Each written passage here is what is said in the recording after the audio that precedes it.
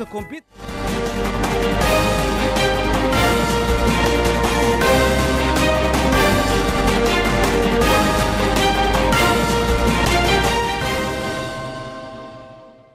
si wacan oo wanaagsan idil ahaantiinba daawadayaal meel kasta aad joogtaan ku soo dhawaada warwixii dalka iyo dibaddaba naga soo gaadhay habeenkani caawa qodobada warka ugu doorka roona idinku hanina waxay madaxweynaha jamhuuriyadda ayaa ka gudoomay shan safiir oo cusub waraaqo uga aqoonsi danjiranimo. Dalka mareykankana bisha soo socota ayaa uu qorsheysanay dibadbaxyaal laiskugu soo baxo taasi oo lagu xakameynayo hubka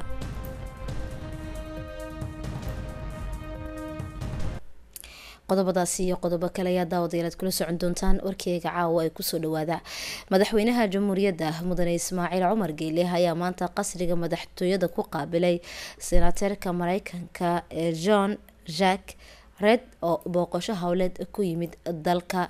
Madaxweynaha jamhuuriyadda mudane ismaaciil cumar geele iyo senateerka mareykanka isagu booqasho ku maraya gobolka ah ayaa ka wada xaajooday xiriirka iyo iskaashiga kala dhexeeya jamhuuriyadda jabuuti iyo mareykanka. Senateer john jack red ayaa ah isagu nin siyaasi u dhashay dalka mareykanka waxaana xubin uu ka yahay xisbiga dimuqraadiga senateerada rod ee iyo koongareega mareykanka ee etazini oo ku biiray sannadkii kulanka maanta dhex maray labada dhinac waxa uu joogay wasiirka gaashaandhigga qaabilsan xiriirka baarlamaanka cali xasan bahdoon waxaana ay kaga wada xaajoodeen dardagelinta iyo xiriirka labageesoodka ee kala dhexeeya labada dhinac. Madaxweynaha jamhuuriyadda mudane ismaaciil cumar geele ayaa maanta ka gudoomay waraaquhuga aqoonsi danjiranimo shan safiiro oo cusub. Ugu horeyntii madaxweynaha jamhuuriyadda waxa uu ka gudoomay waraaqihiisa aqoonsi danjirnimo danjiraha cusub ee mareykanka u soo wakiishay jabuuti larry edward ondro sidoo kalena madaxweynaha jamhuuriyadda waxa uu ka gudoomay waraaqihiisa aqoonsi danjirnimo safiirka dalka talyaaniga u soo wakiilatay jabuuti arturo luz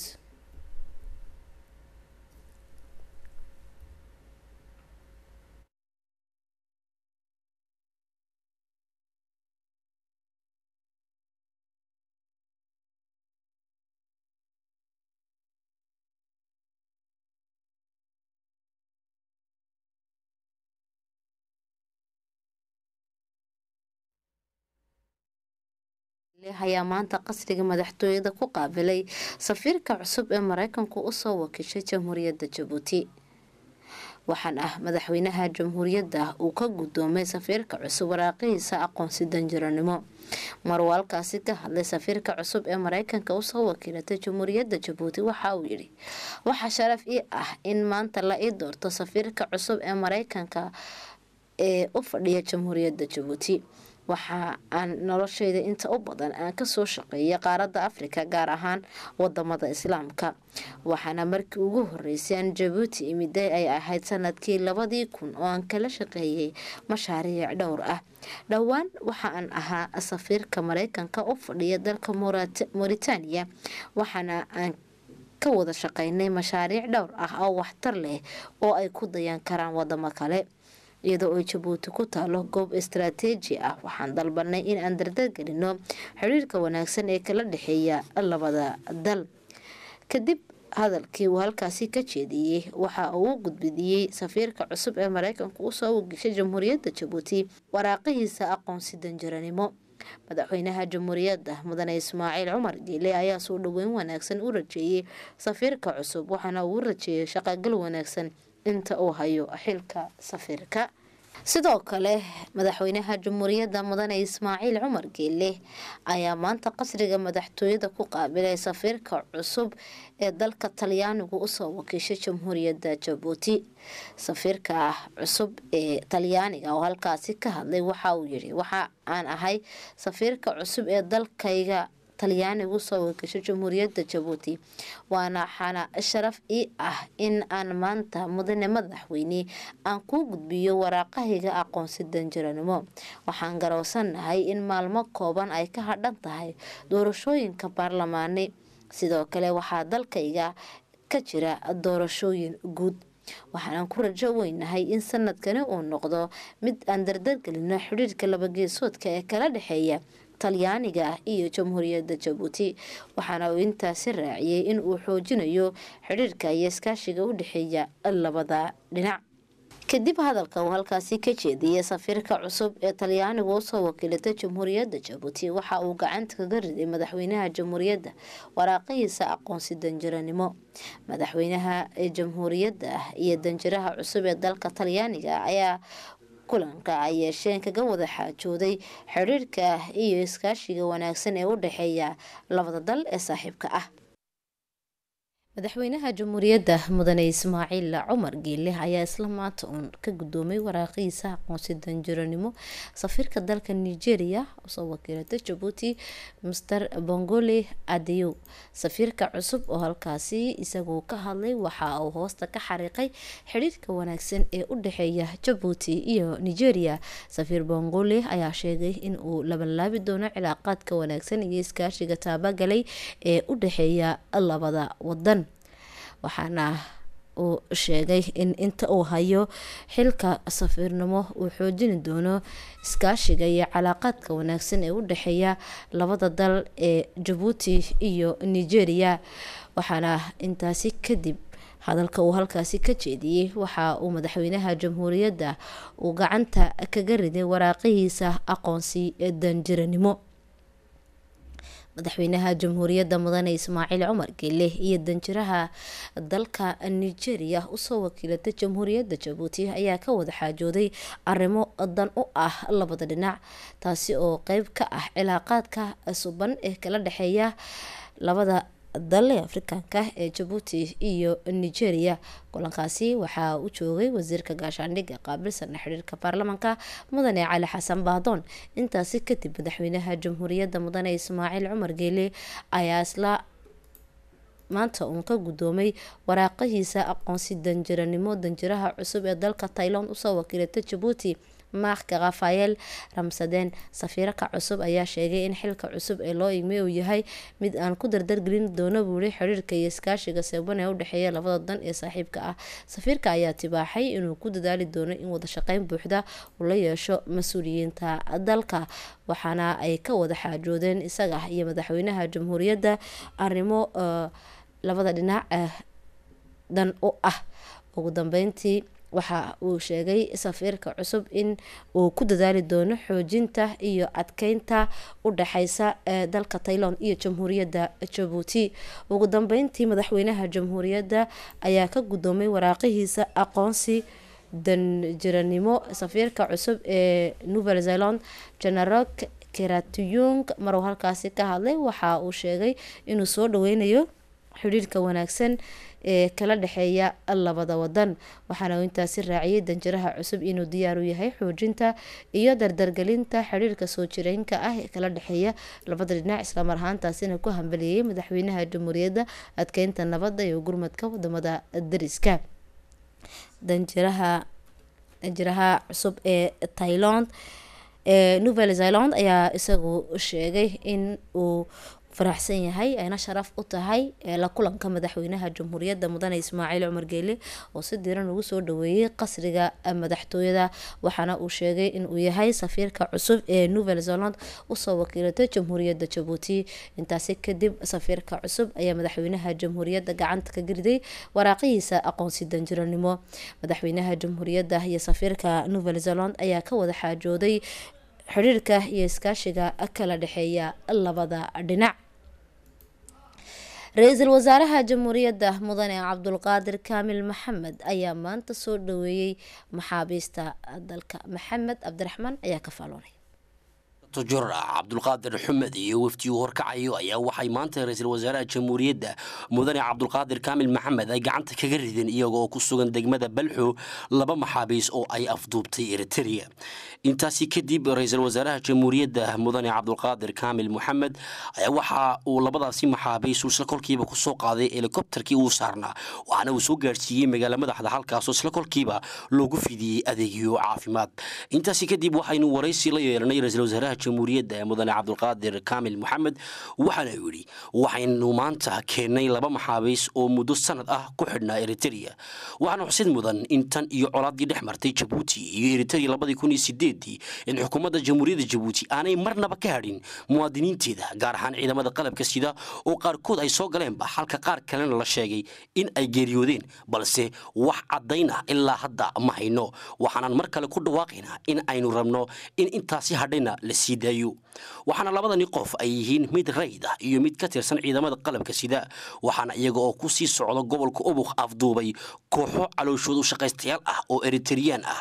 Waxaana afduubkaasi kadib ay geeyeen eritereya halkaasoo ay ku sugnaayeen in sanad ka badan. Balse maanta waxaynu ku guulaysanay in la sii daayo labadani qof. Waxaanan u mahad celinayaa dhammaan dadkii iyagoo arrintaasi dhex galay si loo sii daayo labadani qof ee muwaadiniinta ah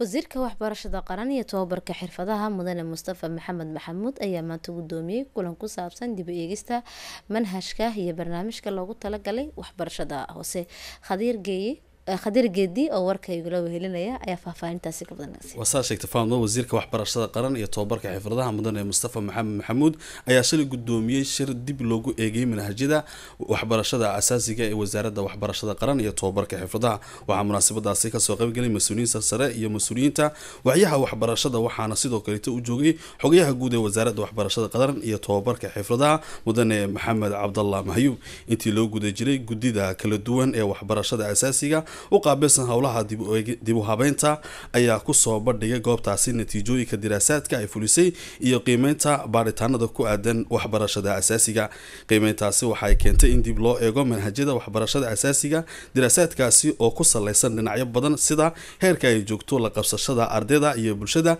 barnaamijka cusub ee waxbarashada iyo hore u socodka teknolojiyadda xogayaha fulinta ee guddiga sare ee waxbarashada marwo ayaan cusmaan abraar oo sidoo kaleete oo sidoo kaleete ah iskudabaridaha hawsha dib u eeginta manhajka ayaa sidoo kaleete ayaa sidoo kaleete ugu horeynba soo dhaweysay habsamo socodka barnaamijkaasi iyadoo xustay wadaxaajuudkii wadahadaladii la qabtay bishii novembar iyo decembar sannadkii labadii kun iyo lix iyo tobankii iyo weliba bogaadinta iyo talooyinka ay u soo gudbiyaan macalimiinta wasaaradda waxbarashada. Gees kaleete wasiirka waxbarashada qaran iyo tobabarka xifradaha mudane mustafa maxamed maxamuud ayaa ugu horeynba soo dhaweeyey habsamo socodka barnaamijkaasi madka xigtana. Waxa uu hambeliyeeyey shaqada wanaagsan ee kooxda habka waxbarashada ee wasaaradda waxbarashada ee dalka jamhuuriyadda jabuuti. Wasiirka ayaa sidoo kaleete aragtiyo cusub ka dhiibtay warbixinta hordhaca ee ka kooban saddexda boqole baash ee ay soo gudbisay ay soo gudbiyeen howlwadeenadaasi isagoo ka codsaday sidoo kaleete arrimo ku aadan wax ka qabadka manhajka wasaaradda waxbarashada. Ugu dambeynna wasiirka ayaa carabka ku adkeeyey in ay muhiim tahay in horey loo dhigo habka loo tabiyo waxbarashada taasi oo sheegay inay tahay muftaaxa mustaqbalka ee tayada waxbarashada dalka jamhuuriyadda jabuuti aada baad umaasan tahay khadiir geedi wasiirka waxbarashada uun iyo tobabarka xirfadaha mudane mustafa maxamed maxamuud iyo xoogaya dowladeedka arrimaha bulshada marwa muno cusmaan aadan ayaa maanta si rasmi ah u dhaqaajiyay howlaha dhismaha. Toban guri bulsho oo ay laga dhisi doonaan iskaashatada dhalinta haysta shahaadada xagga dhismaha. Munaasabadaasi waxaa u joogay xogayaha guud ee madaxtooyada maxamed cabdilaahi wacays agaasimaha sanduuqa guriyeynta iyo mas'uuliyiin ka socda labada wasaaradood. Mashruucan ayaa wasaaradda waxbarashada uga gon leedahay inay ka qeyb qaadato hindisaha madaxweynaha ee guriyeynta waxaana tobankan guri laga dhisay xaafada laga dhisi doonaa xaafada sideed nasiib ee bekatres geeska leh wasaaradda waxbarashada ayaa ka qeyb qaadaneysa abuuritaanka shaqooyin dhalinta waxaana fursad u tahay koruqaadida aqoonta dhalinta haysata shahaadada ee xagga dhismaha. Waxaana xusid mudan in dhismaha guryahani ay qaadanayaan qaadani doonto lix bilood waxaana laga dhisayaa lagu dhisayaa deeq uu bixiyey madaxweynaha jamhuuriyadda. Waxaa sidoo kale la guddoonsiiyey dhalintaasi iskood u shaqeysanaya baabuur nooca bekafka si ay ugu shaqeystaan oo ay u hirgashaan dhismaha tobanka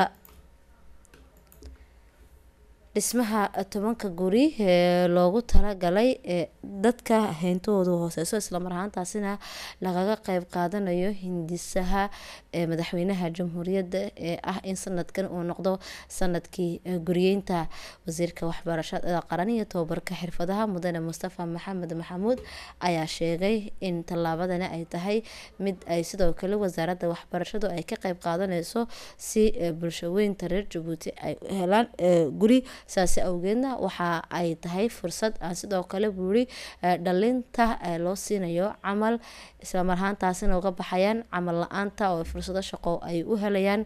Taasina waxaa qeyb ka ah in maanta wasiirka waxbarashada qaran iyo tobabarka xirfadaha oo ay weheliso xogey dowladeedka arrimaha bulshada marwamuna cusmaan aadan ay si rasmiya u dhaqaajiyaan dhismaha toban guri oo laga dhisayo doono xaafada cite nasiib ee bika tres. Hadaba tallaabadana waxa ay qeyb ka tahay hindisaha madaxweynaha jamhuuriyadda ee sanadkan ah. In sanadkani uu noqdo sannadkii guriyeynta oo qof walba muwaadin ah uu helo guri. Sidaasi awgeed wasiirka waxbarashada ayaa isaguna sheegay in wasaaradda uu madaxa ka yahay ay ku tallaabsanayso hirgelinta mashruucaasi dhismaha oo laga dhisi doono xaafadda bikatres toban guri oo ay dhisayaan dhalinta iskaashatada ee kuwaasi oo ka helaya sidoo kale fursado shaqo si ay uga baxaan camal la'aanta. Waana tallaabo muhiim ah oo ay ku muujinayaan dhalinta haysata xirfada xagga shahaadada xagga dhismaha qaab dhismoodkooga iyo howlaha sida ay u filinayaan xogey dowladeedka arrimaha bulshada marwamuna cusmaan aadan oo iyadoo halkaasi ka hadashay waxay ku dhiirigelisay dhalinta inay xoojiyaan dadaalkooga khadiir geedi aye ayayna soo eegay hadaladii xogayaha in laysku soo jamciyo dad si ay meel mid uga joogsadaan ujeeddo qaran. Waxaan rajaynayaa in dhammaantiin aad fahamsan tihiin arrintan. Dhinaca farsamo waad awoodi kartiin laakiin waxaan hadda meel marinaynaa guddi iskaashi waxa aan qabaa sida uu yidhi wasiirka waxbarashada qaran in aan ini garab joogno hirgelinta iskaashigan haddii ay noqoto habsami socodkiisa iyo ka guulaysigiisa hadduu eebba inoo idmo. Waa arrintan waa tii u horaysay ee ku aadan guryeynta. Waxaana rajaynaynaa in aad awoodi kartiin in aad meelmarisiin arrintan oo aad ka badaysiin ontarbereennada oo arrintan ay tahay shaqadooda. Waxaan inaga codsanaya in aad iska xisaartiin dhismaha guryahan sababtoo ah waxaa mustaqbalka geli doona bulshada reer jabuuti waa in si niyad sami leh aad u fulisiin arrintan sababtoo ah waa shaqo qaran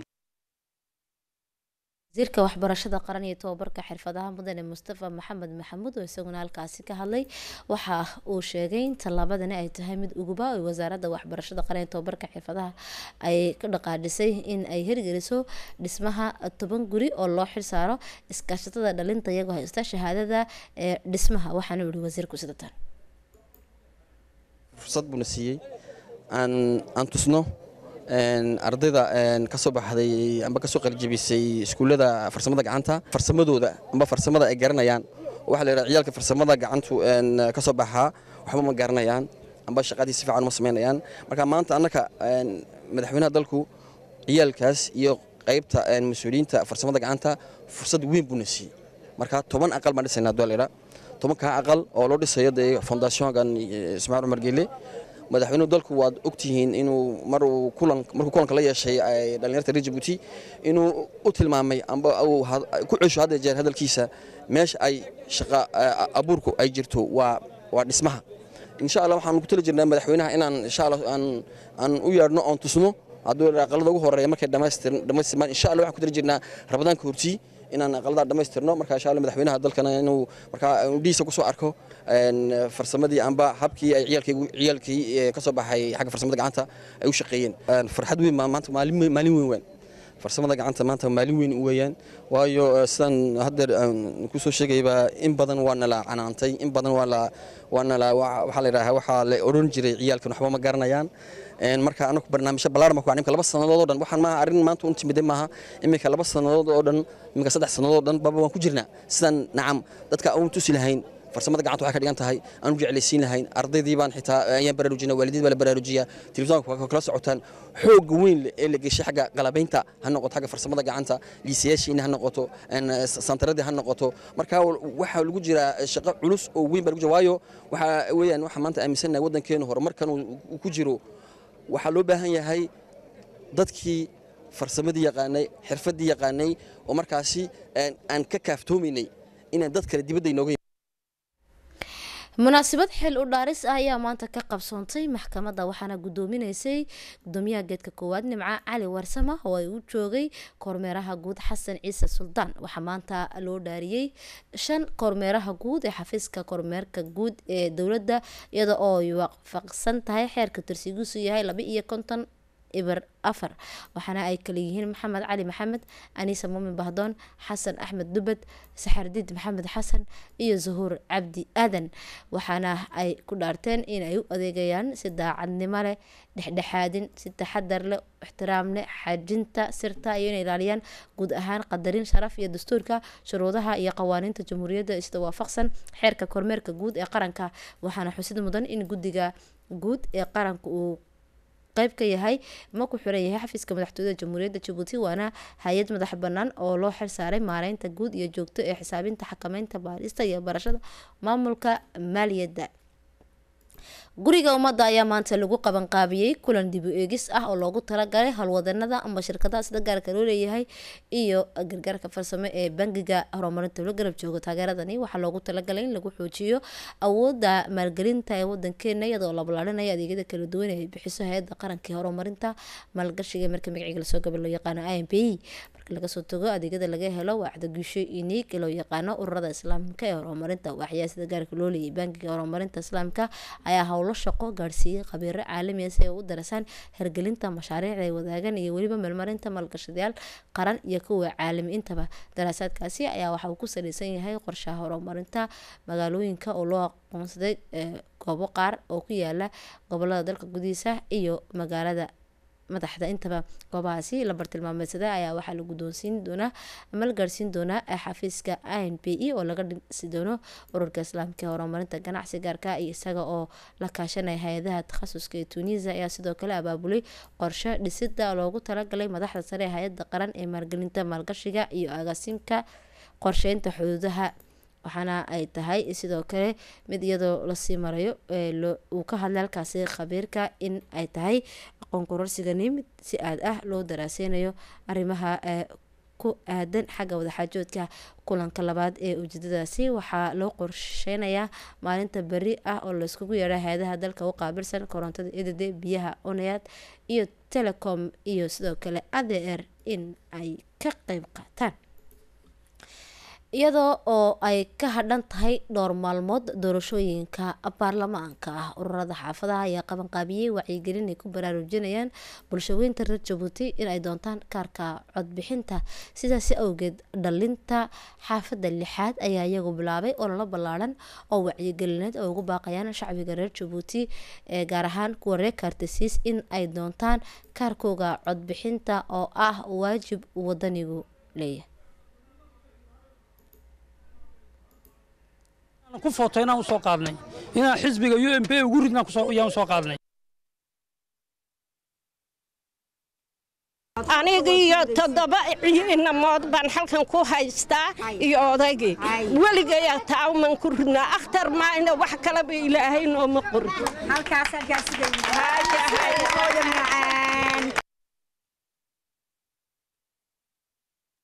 tan iyo markii xorriyadoonkii annagu eelbay ahayd xisbigu waan u shaqaynaynay. Maantana ilaa uu noqday rbb ah ka dambeeye uu aqlabiyadda madaxtooyada e m b uu noqday annagu waxaan nahay kuwii u shaqeeya. Si fiican baan ugu shaqaynaynaa waxaanan leenahay maalinta saddex iyo labaatanka bishu ay jimcaha tahay. Si fiican baan annagu u footaynaynaa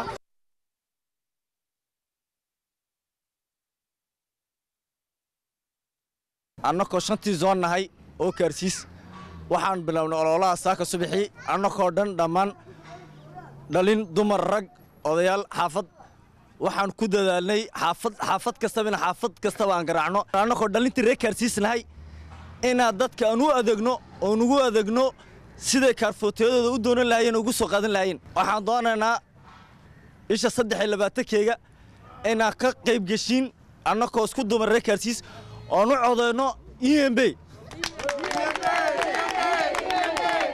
Mowqof baan la soconnaa iyo mabda' iyo waddaninimo iyo waayahayaga maxaan qabsannaa danta guud ayaan u soconnaa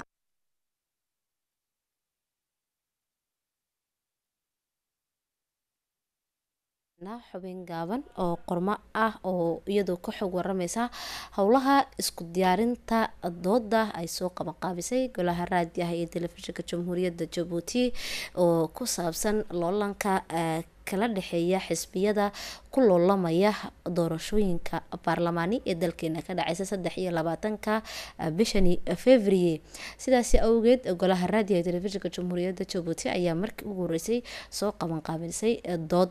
Haddaba waxaan idinku soo diyaarinay qormo iyadoo ku xog waramaysa inoo soo jeedinayo wariye mustafa xasan. Iyada oo ay la xidhiidho isku diyaarinta doorashada baarlamaanka ee ka qabsoomaysa dalkeenna golaha raadiyooga iyo telefishinka jabuuti r t d ayaa u qabanqaabinaya dood axsaabta siyaasadeed ee kala duwan ee iyaku ku loolamaya doorashada baarlamaanka. Doodan ayaa ahayn middii u horraysay ee r t d ay qabanqaabiso iyada oo marar hore u qabanqaabisay doodo axsaab iyaku ku loolamaya doorashada.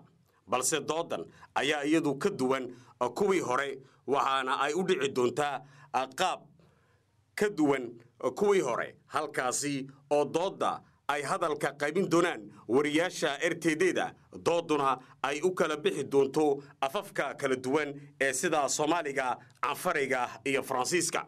Haddaba dooddaasi waxaa golaha raadiyooga iyo telefishinku ugu jira abaabul ballaadhan oo dhinac walba leh iyada oo halkaasi ay ku jiraan farsamo yaqaaniinta iyo wariyaasha d-du sidii dooddaasi ay ugu qabsoomi lahayd habka ugu wanaagsan waana qaab dhexdhexaad ah oo xisbi kaste uu ku soo bandhigayo hadafkiisa uu dadweynaha kaga doonayo kalsoonida. Waa kan wariye maxamed daahir oo isagu nooga warramay abaabulka loogu jiro dooddaasi dhex mari doonta axsaabta siyaasadeed ee ku loolamaya doorashada baarlamaanka ee qabsoomi doonta saddex iyo labaatanka bishan fevriye studio gudihiisii ayaan ku sugannahay hawshan qabanqaabadan amba isku diyaarintan maxay tahay maxaa isku diyaarinaysiin maanta aad iyo aad baad mahadsantahay naasir sidaad arkaysaanba halkan waxaa ka socotaa qabanqaabo aad u weyn isku diyaarin aad u weyn waxaan isku diyaarinaynaa dooda habeenka salaasada iyo habeenka arbacada iyo af soomaaliga af cafarta af soomaaliga dhex mari doonta ee dhex mari doonta labada ku loolamaysa magaala madaxda xisbiyada ku loolamaya xisbiyada ku loolamaya gobolka calsibiya xisbiyada ku loolamaya gobolka tajura inta xisbiya ay ku loolamayaan iyada oo guud ahaanna doodu ay dalka oo dhan ba ku saabsan tahay. Waa kan si weyn baa layskugu diyaarinayaa. Isku diyaarintu waxa weeye waa dood ka ballaadhan doodii kal hore aan samaynay oo ahayd mid tijaabo ah. Waa dood ballaadhan oo musharax waliba oo ka soo qayb qaatiba uu tilmaamayo xisbigiisu waxa uu dadweynaha kaga doonayo in ay kalsooni ku siiyaan uu ku tilmaamayo. Mid walba wuxuu leeyahay hal saacadood. Waxaan isku dayi doonaa oo mar walba aan ku shaqaynaa in aan dhexdhexaad ka noqonna labadaba. Wadaba isku geeyo waxa tani ay ka turjumaysa oo maragmadoon ay u tahay horumarka ay r t d sannadba sannadka ka sii dambaysa ay ku jirto oo isagu sii wanaagsanaanaya.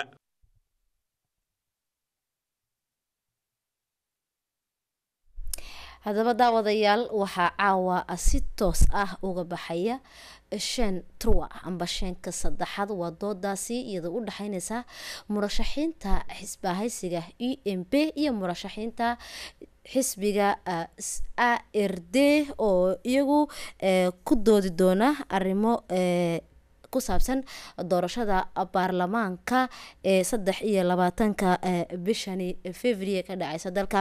Haddaba labada murashax ee iyagu doodani ay dhex mareyso waxa ay kaleyihiin ibraahim shixim daa-uud oo isagu ka tirsan isbahaysiga e m p iyo xasan maxamed xasan oo isagoo ah murashaxa a r d. Labadan murashax ayaa caawa sagaalka goordhow ay si toos ah uga baxayaan. Shanka saddexaad dooda u dhaxeyneysa labadaasi ee musharax ee ka soo jeeda midna isbaahaysiga e m p halka midka kalena ka soo jeego xisbiga a r d ee tajora waxaanaad kala socon doontaan daawadayaal shan turwa oo ay si toos ah uga baxayso. Wararka caalamka aan idinku hayno dalka mareykanka dadkii dadkii ka badbaaday iyaga weerarkii toogashada ee toddobaadkii hore ka dhacay iskuulka ku yaalla gobolka florida ayaa ku baaqay isku soo bax in ay sameeyaan bisha soo socota ee maarsi laga sameeyay magaalooyinka washington ee xarunta mareykanka iyo magaalooyin kale oo waaweyn. Haddaba wararka ku saabsan dalkaasi mareykanka isku soo baxasi waxaa faahfaahin dheeriya naga siinay maxamuud cusmaan. Faadumo waa sida aad tagtay afar labaatanka bishan ayaa waxaa la isku diyaarinayaa mudaharaad inuu magaala madaxda mareykanka ee washington uu ka dhaco mudaharaadkaasi ayaa sidoo kale waxa uu ka dhici doonaa magaalooyinka kale ee wadanka mareykanka. Ardaydii ka badbaaday weerarkii ka dhacay iskuulka wax lagu bartay florida ku yaalla ayaa waxa ay soo qabanqaabiyeen dibadbaxyadaasi ay soo qabanqaabin doonaan si loo xakameeyo hubka mareykanka dhowr jeer oo hore ayaa la soo bandhigay doodo ku saabsan sidii loo xakameyn lahaa hubka laakiin laguma guuleysan dalka mareykanka ayay arrintaasina ka sii socota. Ardaydii ka badbaaday weerarkaasi ayaa waxa ay sheegeen in afar iyo labaatanka bisha soo socotay maarso ay soo qabanqaabin doonaan. Mudaharaad weyn oo looga soo horjeedo hubka ku sii faafaya wadanka mareykanka mid ka mid a ardayda soo qabanqaabinaysa dibadbaxyahaasi ayaa waxa uu sheegay in ay tani tahay sidii nolosha mareykanka loo badbaadin lahaa dadka ku nool. Weerarkaasi ayaa waxa uu dhacay afar iyo tobankii bishan arbacadiian soo dhaafnay waxaana ku dhintay dadkii wax ka baranaya iskoolkaasi oo tiradooda ahayd toddobiyo toban qof oo halkaasi ku wada geeriyooday. Sidoo kale dad kale ayaa ku dhaawacmay weerarkaasi. Wiilka lagu magacaabi jiray nicholas cruz oo daadiisu ay ahayd sagaaliyo toban jir ayaa weerarkaasi geystay waxaana ay sheegeen dadka dibadbaxa soo qabanqaabinaya ee ardayda iskoolkaasi ee ka badbaaday weerarkaasi in ay yihiin sidii loo xakamin lahaa hubka mareykanka faadumoy ee dalka iiraanna maxamuudow bal wararkii u dambeeyay ee dalkaasi ee ku saabsanaa dayuuradii iyada ku burburtay maxaad inooga haysaa? Ay dad badan ku dhinteen. Faaduma waa sida aad sheegtay. Saaka ayaa dib loo bilaabay. Howlaha howlaha lagu baadigoobaya diyaaradii wadankaasi ku burburtay iiraan diyaaradda ku burburtay wadankaasi ayuu nooceygu ahaa a r j oo duulimaad shalay toole ahay ku burburtay. Duulimaadkaasi ayaa waxa uu ahaa duulimaad ay iskaga kala gooshaysay koonfurta iyo waqooyiga sida ay wakaalada iiraan ee duulimaadka ay sheegtay waxaana diyaaradaasi saarnaa lix iyo lixdan qof oo dhammaantood ku dhintay. Mas'uuliyiinta iiraan ayaa howlahaasi dib u bilaabay. Maanta kadib markii ay shalay joojiyeen sababo la xiriira hawada iyo cimilada oo ahayd aan mid wanaagsanayn. Waxaana la sheegayaa in lix iyo lixdankii qof ee diyaaraddaasi saarna ay dhammaantood dhinteen. Diyaaradda ayaa waxaa ay ka soo baxday magaalada yusush oo shan boqol oo kilomitr dhanka koonfureed wadankaasi iiraan uga xigtay caasimada tehraan maantana ayaa dib loo bilaabay howlaha lagu baadigoobaya diyaaraddaasi iyada oo la sameynayo wixii diyaaraddaasi sababeeyey. Weerarkay diyaaraddaasi ka dhacay faadimoy aada baad umahadsan tahay maxamed cusmaan daawadayaal iminkana waxaan u gudagalaynaa wararka ku saabsan doorashooyinka ee la socod wanaagsan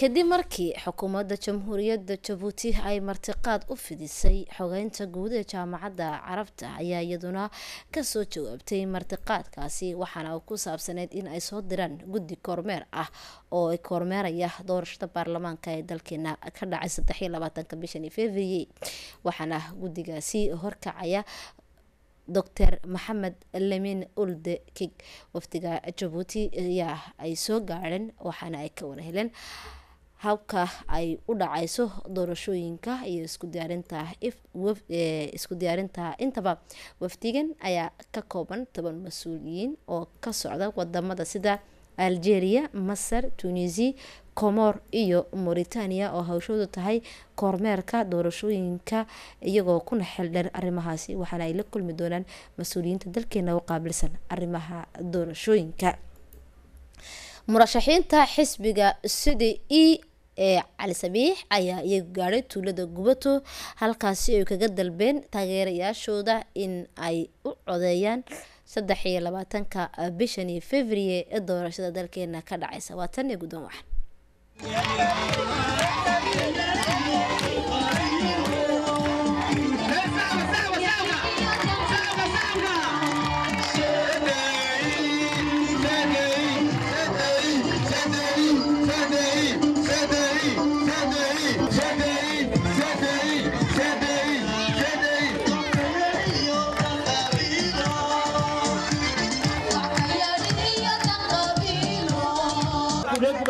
nahay oo ku hadlayna magaca dhageerta magaca odayaasha magaca bulshadeedna ku hadlayo.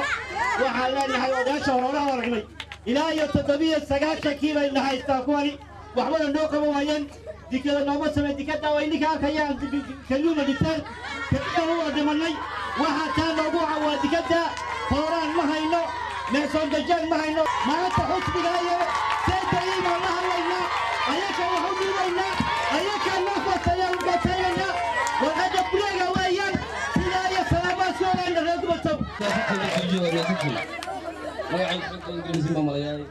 nima sheegayo magacayga muxuu ahaa saciid kaamil nuur oo wargelinaysiin reer gubatiyo roohol waa isku yahay waxa weeyaan maanta waxaan u soconnaa doorashada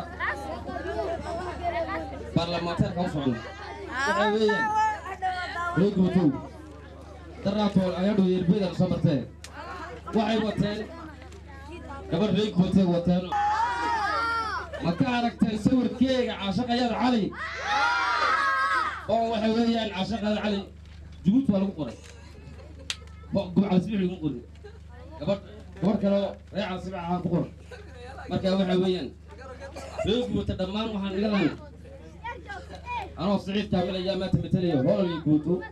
Oo xisbiga seedayu matalaya inaan bisha saddex codisiin waan doonanaa warqadda buluugina inaan nugu ridin waan doonaya salaamu calaykum reer gubato waa salaamatiisa noo soo dhoweyseen anaku waxaan nahay ururka sodeyi haddaan qaar ahaan reer caalsidey baan ahay si fiican baa lee wada garanayaa saan baa u aqlaysanay ilaa ubadkayga hawooyinkeeda abeed baa ku aqlaysanay waxa ma hayaan noo footeeya anaku haddaan reer caalsideyna waa footeynaa waa silaalinayna dhammaanteenba salaamu calaykum waraxmatullahi wabarakaatu la idhaahana waaniga arkayna waxaan waa dadkayagii dikaydna haysiino waa naga arkay dikadii soo maray waaniga arkay kooraan ma jiro kolkaa hadduu alla idhaa waa isla joogaynaa haddaad noo fotaysiin oo soo baxno annagu iniga aniga mid noqonaynaa hadduu alla idhaaho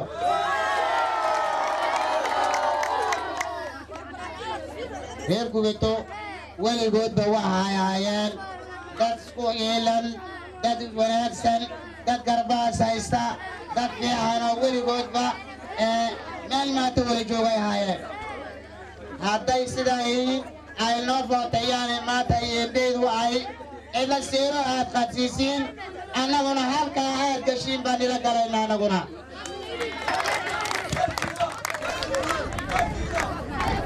Weligeedba de horta horta niyaddu waa meesheeda weeyaan. Weligoodba jaad iyo lacagaa nagu harqiyaan. Haddana dadku isbeddel inay u baahan yihiin ayaa meel kastaba la arkay. Heejad kastoo soo marnay sidaa imikaad noogu soo baxdeen baan noogu soo baxay.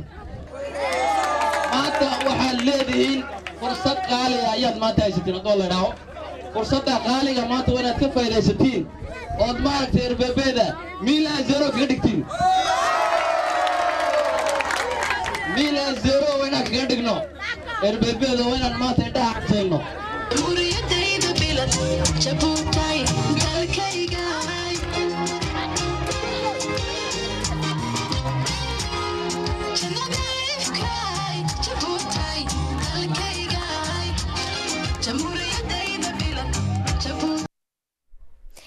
murashaxiinta isbaahaysiga u m p ayaa gaadhay gobolka tajoora halkaasi oo ay kaga dalbeen taageerayaashooda in ay u codeeyaan oo ay ugu ridaan warqada akhtarka doorashada maalinta ku beegan saddex iyo labaatanka bishani february waatan meela socod wanaagsan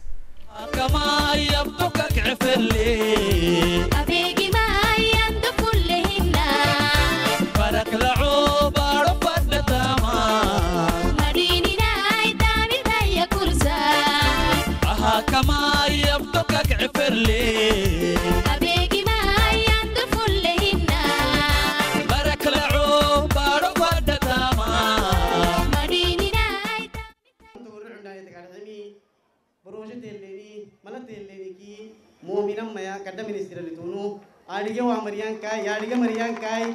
Anin ni de mangori o mai det program ble det production ble magon ne hatale det ka tatnam fadin takalu asaku nanu nangalem fadin ta yakke yanda delata waqta maramana kai yangalem fadin ta ka kinimi usunu asaku ministira ta yini tableni dola ta ke kitgeni takkali takkali ni yenini himmai بلاني. تابو مدو داناي نانو كين المعنو وسن المعنو معتا وراك علتني بولو البولو أخضر وركتا. ينبي عداي ينبي عقولاي. تغورش عقو ينبي دقوك سولاي. سيني كارحي. نانو فريق تحبنا ميا. نانو نمعيه نانو نمعيه دوك ودرنيخ لك. توتن توتن أكلوك بسجن نانو ميا. أحكاد ومرهناي أح فيسبوك مراي. réseaux sociaux mara to adina sidi hamu ma mici kini garxe sidi hamu no naarige jejji hayna sidi hamu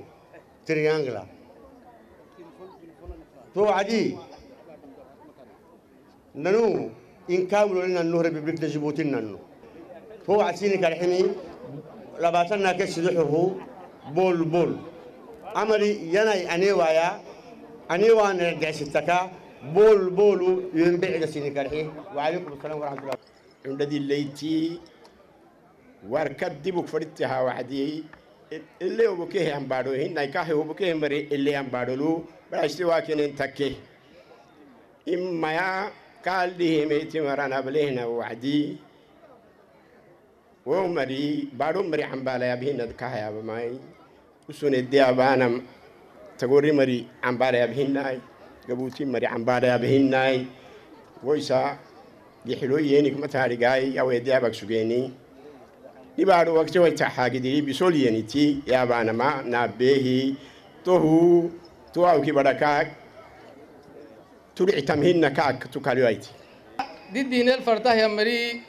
سينفو حمكسيني مري. بكر بكر أكساي بكر بكر ركال مجرنا سيني كارحيه داقنك قمعتاي. لباتنك سنعتي ماتي. ماتي قمعتاي. Kunkihi andhar warkata andhar warkata necidana siilisira yab siini may magay dhagne gumcata alxee wassalaamu calaykum waraxmatullaahi wabarakaatu casalalay mangomtan damin saako inti tubleenihi umuunaha bokelgaxaye casbo mayaa gersimigacli casboyu yani mangom ama telefoonata hana kulligat handiye gubattankaaduna mangom caadinkaadu gubattan toh inkihi togorri ayunta cundaanaytaha mangom dhicileyta ama degeeloonu wo kala ummatankihe degeele kaadunaay wo macaadin yayaaceen gidahaa kooraan fadhiima nasiibi kaado kooraan eliyan hay.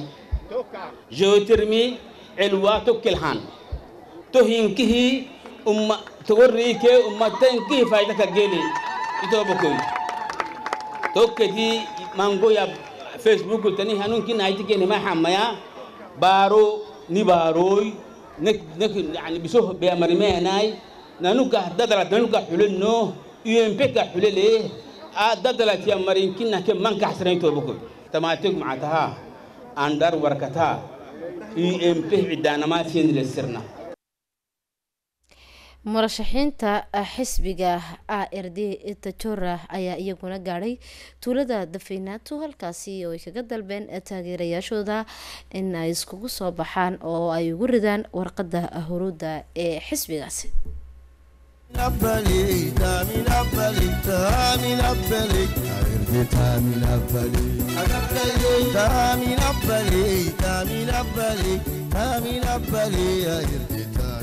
balai يتون السيحلي عادنا سقللي يدك يمري مكابا مرحلي يتوكم يدين تولي يتون السيحلي عادنا سقللي يدك يمري مكابا مرحلي يتوكم يدين تولي تامين أبالي تامين أبالي تامين أبالي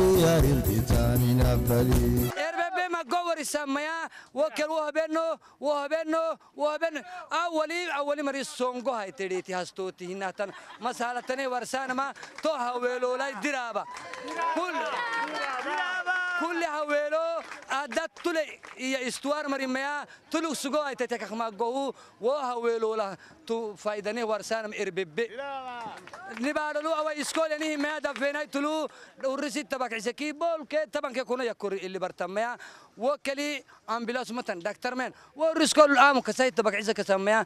ننو برتدي كسكر الدين كي أمبلاس من نوي دكتور من وعمل على سيني كلام فرا ما فرا maatiya sinka siisan fadha tokin maatiya yeniki ka gar xitan teliton tota sini tota macna sini warsaki away umadaabali tugaxtaki umadaabali farkah toobaki nek camih bada dibatehtan to wacdi wicmal matan ile tanin jabuuti warkad keed heleeradan jabuuti to hulmaylahtina to to si fari wicmidha lug axarah tugaxtaki wicmadal warkad ka har cidoon waytana ma khadra farkah tugaxtaki farkana madibata lug sugtee nanu namadi bata gunusna mahara isar bebefak neh bataki nanu gidafak bahna fadinto wicmidhalog to cadiisini kinaa mahayduwa maxay erbebesinit meekitak sugtateeti dirabsini baahak sugtateeti mayi isina saakuna isina saakuu ken tixfizeeni ken dhiiriiteeni ken bariteeni sini kadxen fadhama usunuu sin dhiiriyeenine kiyaanaha inilcaanan fadhanamay nanu ken miilicina ilcah ken miilicina usun nimara nanu ken madhaafna usun kinno mara keenikinaadhigehinanu usunu elle neewagitaay nanu maacuna takhame iyamarayi baadho kasas baysaan fadha marakalahaa nanu daafu keenit mabnay taniimit keenik yaabeno net yaabaanah keenit yaabeno ambaaxin xara biri telefisonulu inki ministriyelle togorimarididdihmeanaa togorididdihinnaahiye neekahexeen fadha maramanaadhiga nanu togorri daadafaynayti mara. Togorri nanu togorri iyahnaa xele toga iyahnaa xeele ahinkih togorri mara dafeynayti togorri. Inkih togorri mara kahnaninanu yeeyi neekahexeen fadha maramali togorididihmeana yaanamayididdihya ninkenay bulleeno warqatalablelo siini kadxeen fadhama daayal batteeni kah batteeni maadhiga duma keenikinne hudhih keenikinnah ma baditina. Tanim ceebihinna taninna nusi manaagura gira siinil manaagura gabat giramannu xagliten abootanaha kah baditaanaha xaglitenih dibug fadhaanaha dibug fadhaana misabatabadid siinit kahradama kaa ma battina siinikinna sinken kah bariteninaha magomariken barte. Kulli kelken dhiiriyeeni kalafalken dhiiriyeeni saagalulken dhiiriyeeni dafeenaytulken dhiiriiteeni kasollutinina jubcatayro khadradde tallexeey warqad cida murashaxiinta xisbiyada e d g p d d ee isku tegay ayaa iyaguna sidoo kale ku qabanqaabiyey xaafadda xumbuli isku soo bax oo ay iskugu soo baxeen taageerayaasha xisbiyadaasi waxaana ay ka dalbeen inay ugu ridaan warqada cadaanka maalinta ballanta ee saddex iyo labaatanka bishani february ee doorashadu ku beegan tahay ee baarlamaanka. Waatan ila soo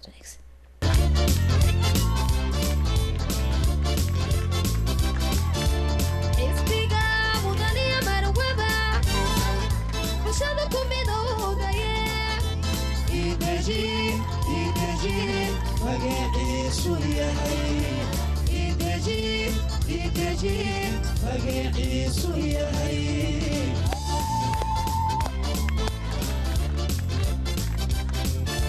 ayuu maantana mar kale siduu nimatali lahaa codkiina u muujin lahaa ayuu madashani madashan